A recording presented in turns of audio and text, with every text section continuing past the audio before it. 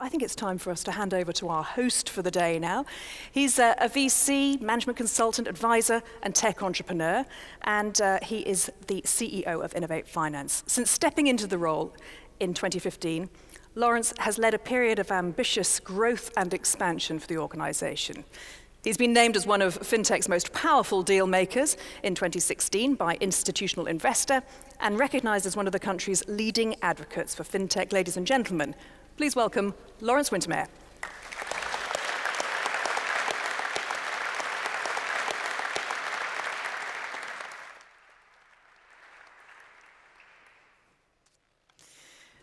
Thank you for that kind uh, welcome. So, distinguished guests, ladies and gentlemen, welcome to the Innovate Finance Global Summit, our members' summit. Welcome to the Guildhall, the home of global fintech and welcome to the kickoff of UK FinTech Week.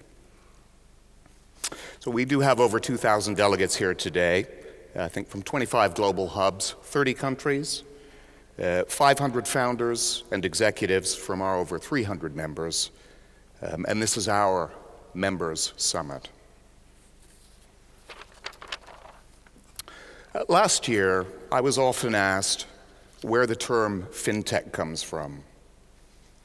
Um, I heard the term first used as a venture capital uh, category, ad tech, uh, martech, medtech, clean tech. Uh, but the first written reference I came across to fintech was Citicorp 25 years ago for a smart card interoperability project. So, how far do you want to go back in, in history? Uh, internet banking, uh, the NASDAQ, uh, the first computerized exchange, uh, the cash machine, the credit card, uh, maybe right back to the stock exchange, um, or coin paper currency. Uh, my, my, favorite is the invention of debit and, and credit. Uh, financial services using state of the art technology and the technology of its time has a long history. Today, digital is the greatest accelerator in the history of financial services. And Baron Anthony Giddens, one of the most prominent UK sociologists, uh, believes that uh, we in humankind have come to a crossroad. Digital is moving at a faster pace than social anthropology. And he offers three inventions that have really come together to deliver us to this crossroad in history. Uh, the first one is the mobile phone, the supercomputer in your hand. Uh, the second is artificial intelligence, the app that knows what you want to do before you do. And the third is the internet, you know, connecting you 24 7 to everyone and everything in the world. Putting access, intelligence, and networks into the hands of 8 billion people uh, challenges central control, government, and corporations and creates many new forces for humankind, both good and bad. So, how privileged are we here today to have someone who knows more about this uh, than anyone else in the world? Sim, uh, Sir Tim Berners Lee, the inventor of the internet. We'll be hearing from a bit later. Uh, the question I've been asked most recently is what is the impact of Trump, populism, and Brexit on fintech? And I actually preferred the first question last year. It was a bit easier to get through. So, Trump, well, too early to tell. Uh, since the early indications of the repeal of the Dodd Frank Act, we haven't heard much. Um, what we do know is that there is a high degree of collaboration between US institutions and fintechs. And in 2016, the US led fintech funding rounds with over 650 deals, you know, pretty vibrant fintech uh, ecosystem. Populism. Too early to tell. Uh, Mohamed El-Erian believes uh, that the advanced world has lost its ability to grow in a high and inclusive manner. And when that ability is lost and people lose confidence, things start going wrong and, and start to break. He said this last year uh, when an increasing share of the government's, uh, the government's debt was yielding negative and, and before many had actually heard the words Trump, populism, and Brexit. Brexit, too early to tell. Uh, the government must ensure that the UK remains the most attractive uh, fintech ecosystem in the world through attracting global STEM talent and investment while developing our own homegrown talent and investment. As importantly, the government must continue its program of building fintech bridges to global hubs. Immediate fo immediately following the referendum in the UK, we had a bumper quarter in fintech funding with four of the largest deals of 2016. And VCs referring to Brexit, and that, that, that is the referendum, as a blip. Investors tell us that they invest in talent, and it's talent that creates great companies. And we have an abundance of talent here in the UK. Innovators tell us that they see opportunity with political change, and innovators and startups are very agile and have a very different view of risk from most of us. While innovators and institutions are well capitalized, profit from risk, and have global franchises. So, whilst it's too early to tell the impact of Trump populism and Brexit might have on fintech, our members remain cautiously optimistic about the future and are just getting on with business.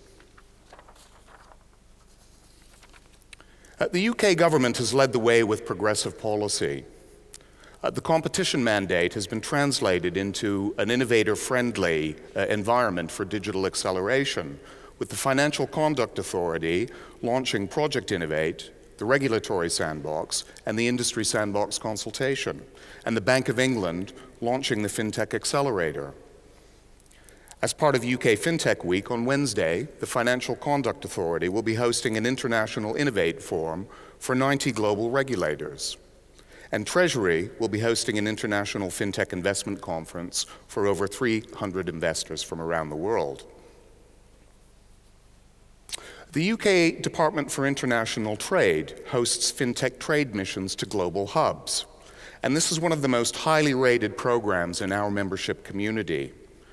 Over 100 of our members have participated in these missions and give the DIT a big thumbs up on these. Regional hubs in Scotland, Leeds, uh, Manchester, and London are all part of a formidable UK fintech ecosystem. Uh, the City of London has been visionary in its support uh, for fintech and for cyber the City of London's Network Action Group convenes trade and industry associations and bodies to lobby for fintech, and the group's developing a response to the Patient Capital Review, the government's review of getting long term capital into the UK venture ecosystem. The City of London Police run a National Fraud Intelligence Bureau. The Bureau is nationally coordinating the response to digital financial services crime, fraud, and cyber, and it's a beacon for global best practice. All of this in, in the UK is fintech leadership in action, and we partner very well with the global community.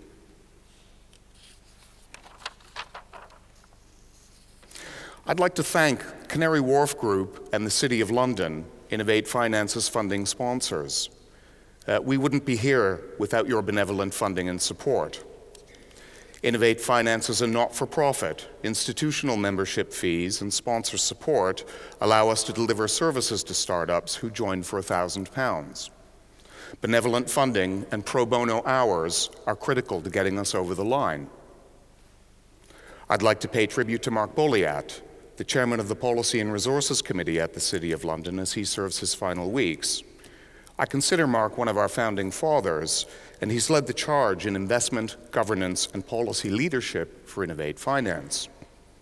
And Mark, you've been a personal advisor to me, and I thank you for your wisdom, your patience, and your support. We wish you well in your new role as the chairman of Link, and we'll miss you. I'd like to thank the Innovate Finance Board under Alistair Lukies for his leadership and their unwavering support. Al and I have been aligned on what Innovate Finance needs to do since we very first met. I'd especially like to thank the Innovate Finance team. we deliver more than 70 curated programs to you over the course of the year, and your high approval ratings of what we do uh, really gives us a great sense of purpose. You cannot win championships without world class players, and, and world class players that know how to win a cup final. And I have the best team in the game. Most importantly, I'd like to thank you, our members, our startups, our growth companies, our financial institutions, our technology firms, our professional service firms, and our partners. It's your drive to innovate financial services that's nothing short of awe inspiring. We invite the global community here every year to your summit so that you can show the world our fintech talent and leadership in action. You're delivering the di digital big bang of financial services, open banking, API marketplaces, digital currency and assets, personal financial digital assistance, encrypted digital identities, and universal access to a range of financial services, all available to our citizens and businesses. The UK has the blueprint for the best fintech ecosystem in the world because of our fintech talent and leadership. We've been innovating financial services here in the City of London for more than a thousand years, and long shall we continue. You, our members, have been given more and better tools than any generation in history to undertake this bold mission. And it's you leading the drive to innovate the future of finance. Our mission is to serve you, and it is a privilege for me and the team at Innovate Finance to do this. Thank you for listening. Have a great summit over the next two days and enjoy UK FinTech Week.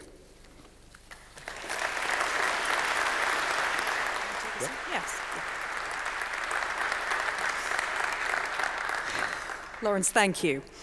Next, the keeper of the keys of this spectacular venue and the home of the Innovate Global uh, Finance Summit.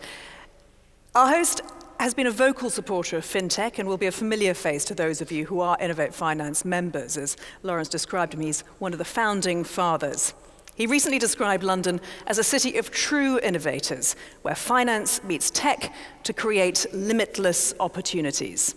He is a true champion of business and this city. Please welcome Mark Boleat.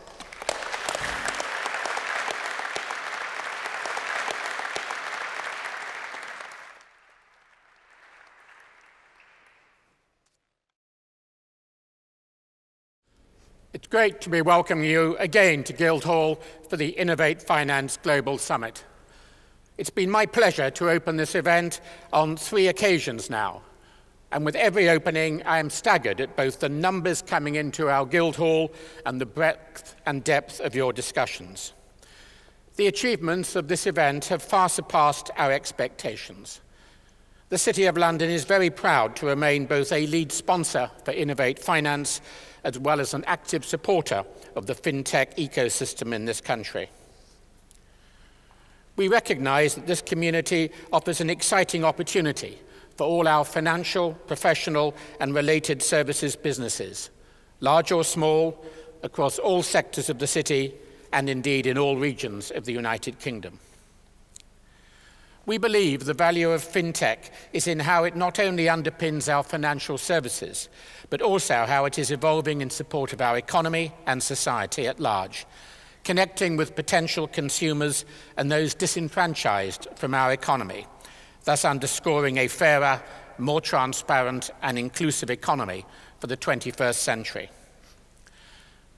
In the UK, we are taking significant strides to lead on these themes advances which will not only benefit our economy, but will also benefit the economies of our global trading partners. And yes, that includes our European friends and allies too, and we are delighted to see so many other fintech centres from Europe represented here today. On that latter point, we acknowledge that some of you may be feeling a bit less confidence than perhaps you were a year or so ago. It seems that not a month goes by when the challenges to our economy seem to increase, stemming perhaps from a greater sense of unease in the world at large. But let me reassure you on what has not changed in the last 12 months and what won't change. Firstly, London remains a global hub for financial and professional services, with recognized strength in depth for our finance and tech expertise. Secondly, the UK's comparative advantage as the centre of competitiveness and innovative thinking in our regulatory ecosystem has set the global standard for fintech. And thirdly, the city remains a leading access point for finance and capital, especially for new kinds of digital businesses seeking to fund further innovation in products as diverse as blockchain technology, artificial intelligence, and robotics. We at the City of London Corporation know that you don't succeed merely by standing still. And even after 800 years, this organisation knows only too well that success lies in continued evolution and change. Sometimes that change is physical. In the 1980s, the deregulation of financial services, the Big Bang, changed the city landscape forever. Gone were the gentlemen bankers with bowler hats of yesteryear, and in their place arrived the large multinational firms, often housed in newly designed glass and steel towers. The towers remain, but the nature of those businesses inside continues to evolve. We now live in the area of digitization, a second big bang, if you will. As a consequence, many startups and scale ups in tech are also now located within the square mile itself. I'm therefore delighted to announce this morning a major new city fintech cluster, which will open in Broadgate in the coming months. And we're pleased to be supporting this fantastic initiative led by Innovate Finance. This development marks just a first yet very significant step in the expansion of fintech businesses in the square mile.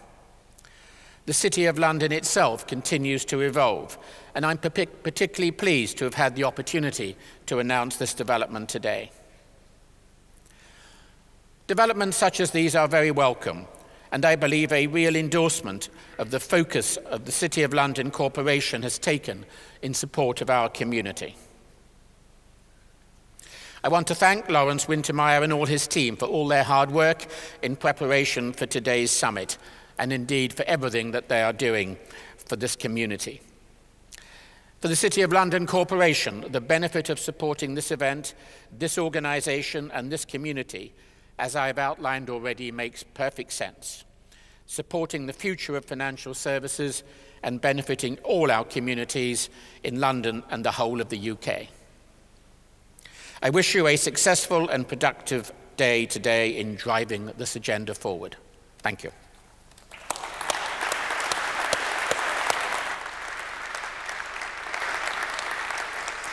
Thank you, Mark. Deloitte are our platinum sponsor for this year's summit, and I'm delighted to welcome next to the stage one of the firm's leading financial and technology experts. They recently partnered with Innovate Finance and Swift to produce a report on global fintech hubs, which we'll be hearing more about later this morning. But here to tell us more about the work they've been doing within the industry most recently, please welcome to the stage our speaker, James O'Rodden, Senior Partner and UK Financial Services Leader. James.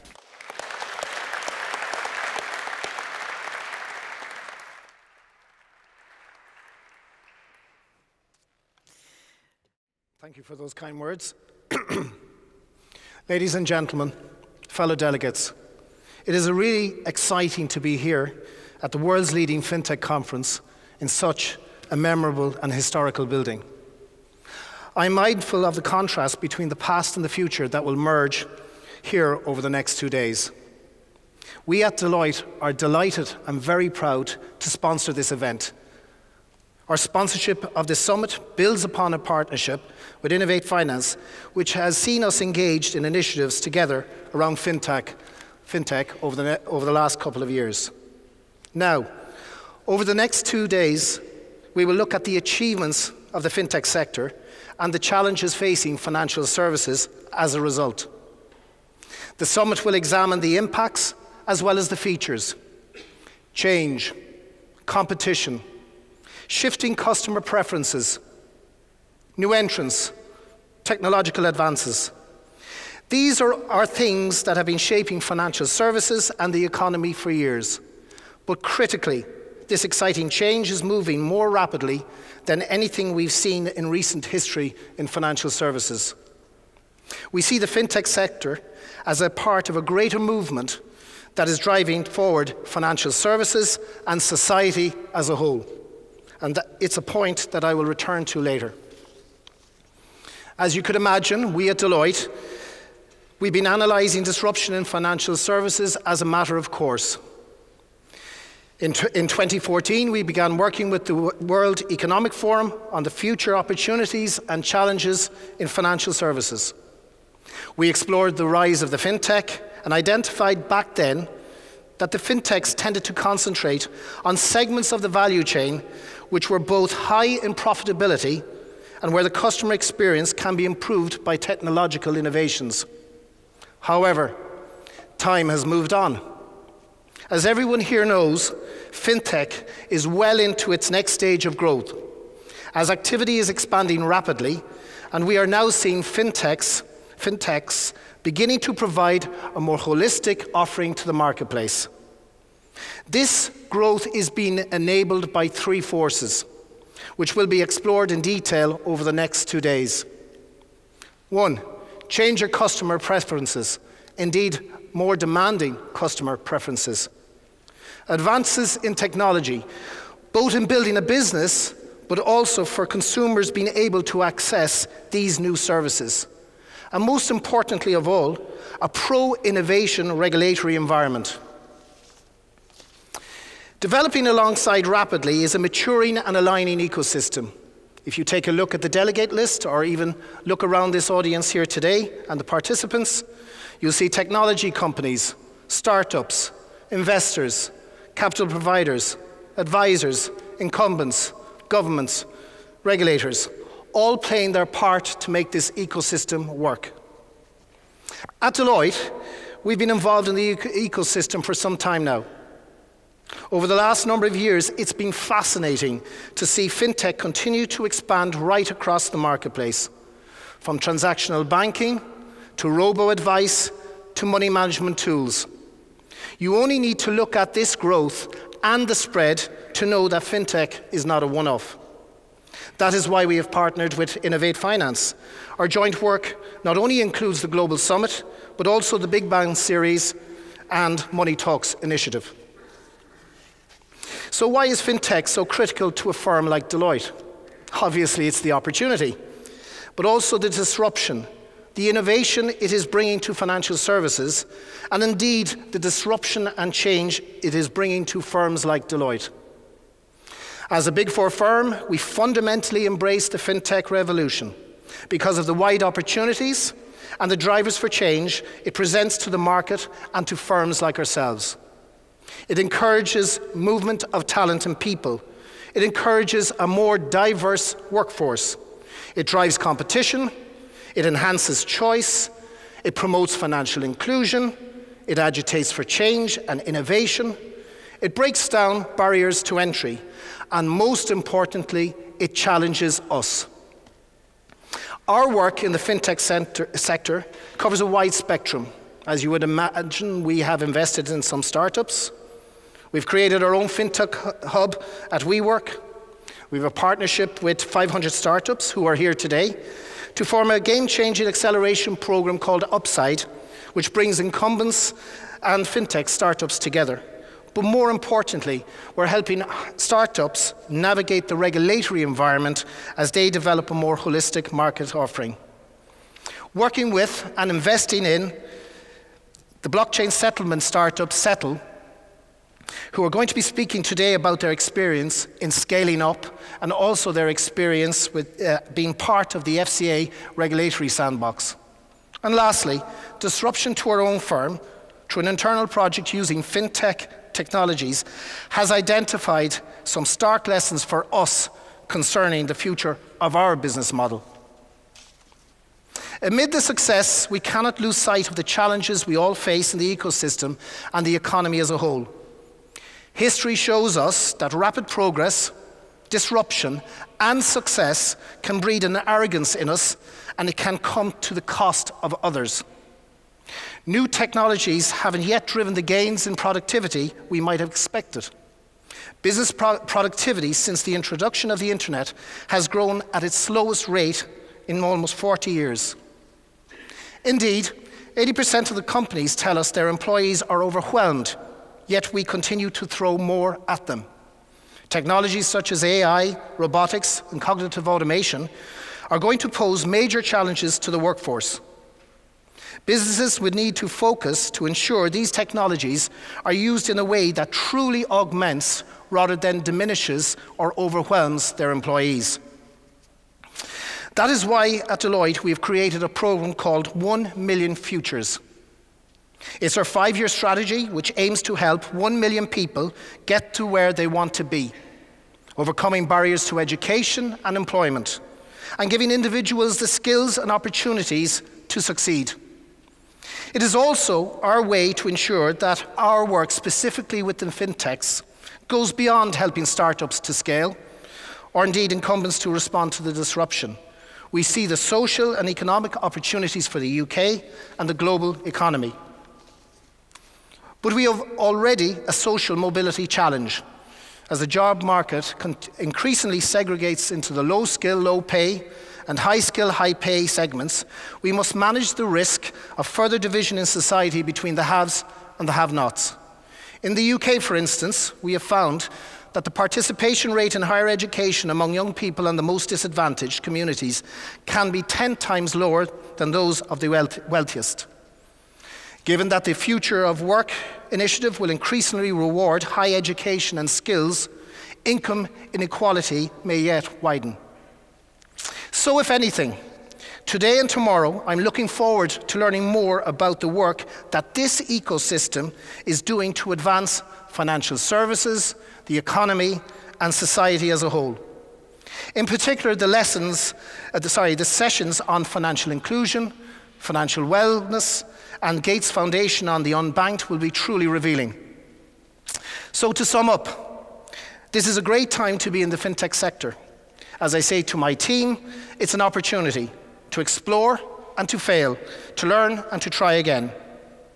A quote from the great Irish playwright Samuel Beckett best describes the innovative spirit that the fintech sector has brought to financial services. Ever tried, ever failed, no matter. Try again, fail again, fail better. Enjoy the event and thank you for your time.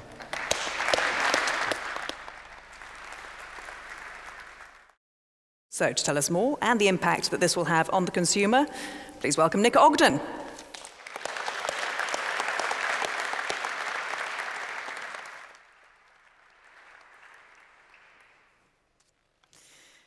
I always get worried when the announcement before you speak is so great. You think, what on earth is going to come next? Anyway, thank you, Lawrence, and everyone at um, uh, Innovate Finance for organizing what promises to be yet another fascinating summit for you.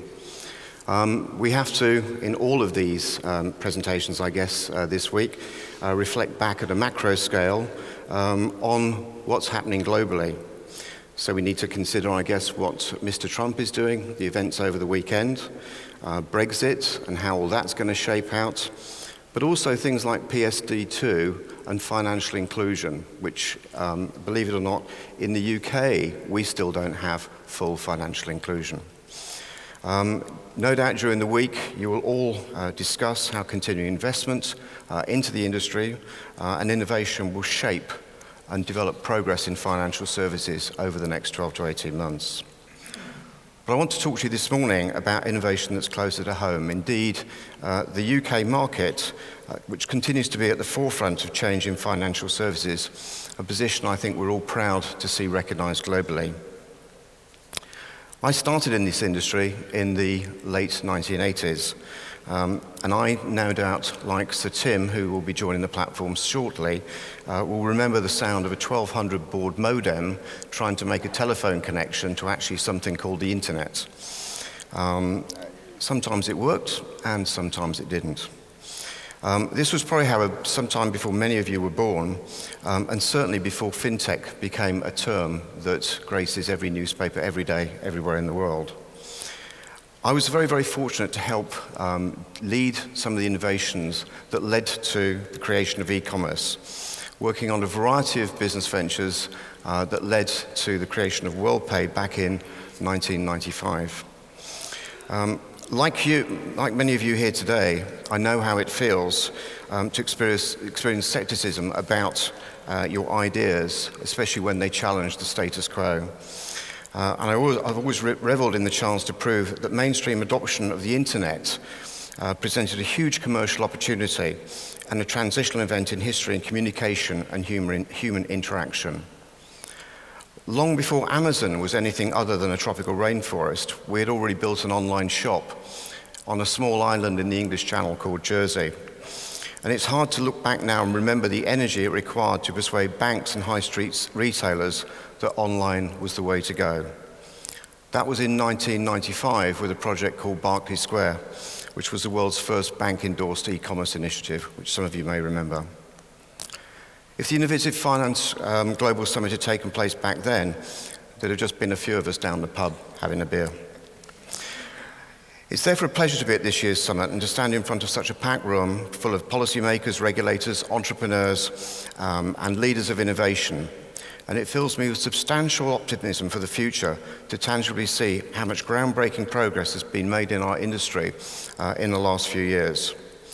But change has not been easy, and the innovation battle uh, is far from complete.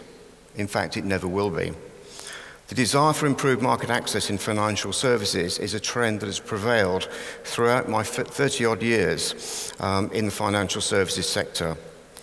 Our online financial services industry has evolved enormously since the mid 90s into what has now become a complete web of infrastructure services. But this has to be balanced against cyber threats, identity and financial crime challenges, and legacy platforms and networks in the delivery of our key financial services. Market access and structural reform opportunities, and perhaps perceived competitive threats, remain key challenges from many of our oldest, most established financial institutions. In the UK, we have seen many market entrants and new challenger banks appear and launch in the UK. And although there have been significant regulatory support for reform, I'm sure that I speak for many of you here today who will agree that when I say the markets still face serious limitations in the way that your business can integrate, compete, and flourish.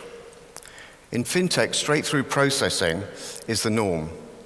In global financial services, um, it, it remains a challenge that directly impacts everyone.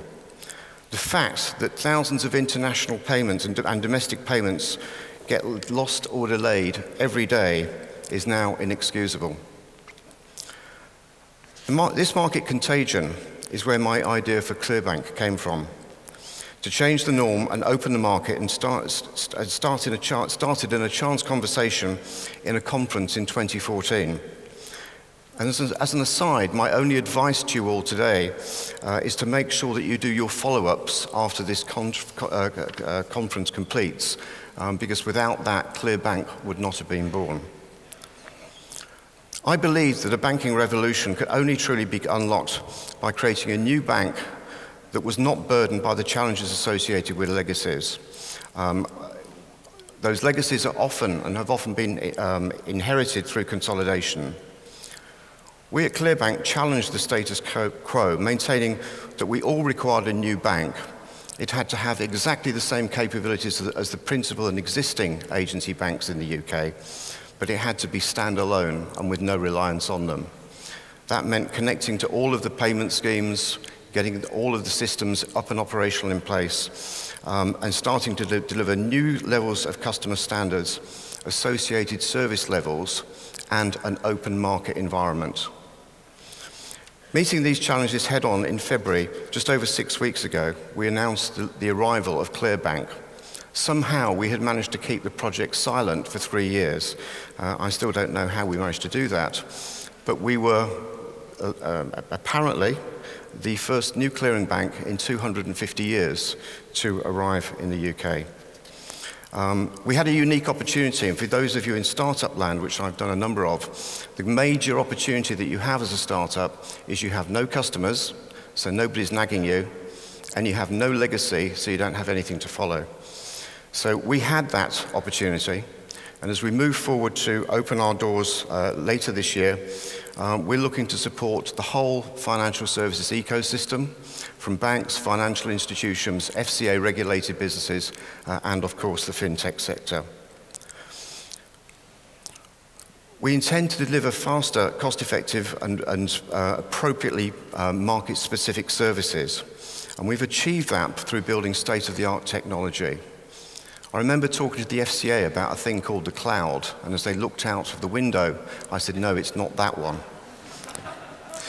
Um, we've worked very, very closely with Microsoft who have helped us develop a global leading platform, um, which is now being deployed in the UK. Um, and we're the first bank ever in history to concurrently connect to all of the UK payment schemes and dare take the challenge of turning the switch to put them all on uh, on the first on, on the same day. Um, the interesting fact was six and a half weeks ago, nobody had heard of us. We didn't even have a website. Uh, we had a thing called CB Infrastructure, which some of you may have heard of, uh, which HSBC thought stood for clever business, but they found out it didn't. Um, and the results of the last six weeks have shown that there is massive demand for change in the delivery of financial services in the UK. Whilst we guessed that might be the case, we now know that to be the case. We've developed what we believe are simple systems to help the market. We have a single ISO 20022 interface to allow you to connect. It's very simple and it changes the norm. And Lawrence kindly asked if we could share with you a, a video animation that we showed at our launch. And so enjoy the next minute. It's far better than listening to me. Um, hopefully the, the, benefits of what we've done or we've been building over the last three years will be of great help to many of you in this room. And I sincerely hope that we can work with you and help you drive your projects forward. I believe that if, by working together, uh, we can catalyze the financial innovation that both fintech startup and established firms are bringing to market, we can all help accelerate product innovation and the adoption of many necessary and needed new financial products and services. This should also help improve financial inclusion, especially in the UK, where 39 building societies with 3 million customers do not provide current account services to their own members. And further down within the credit union section, the ability to provide current accounts to people in the, the, the lower echelons of the, the social uh, market in the UK do not have access to current account banking.